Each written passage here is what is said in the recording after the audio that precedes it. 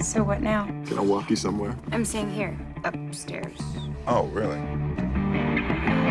Oh my god, it's my husband. Whoa, whoa! Give me one reason why I shouldn't do it. I'm drawing a blank. What? He's on to us. First of all, you gotta wait till she gets my pants off. And then you gotta give me a chance to run. That's how you get the money. Never drop the con. Die with the lie. And why'd you come up here? Professional curiosity. And I like boobs. You know, I figured it was a win-win. Been in this game for a really long time. I had what I needed. And then the girl walked in. I know you're doing something big. I want in.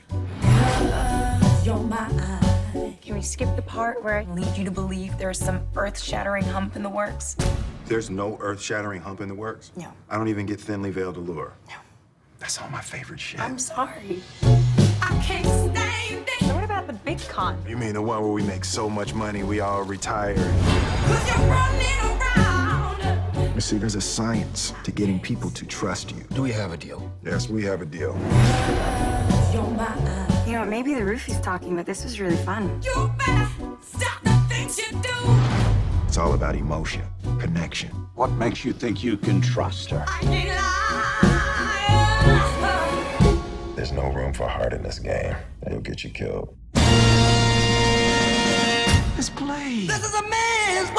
Are you working an angle? I wouldn't trust him if I were you. But I should trust you. This is a man's world. You got a problem. I am going to kill you. Kill me later. But it would be nothing. You lost everyone's money, my money.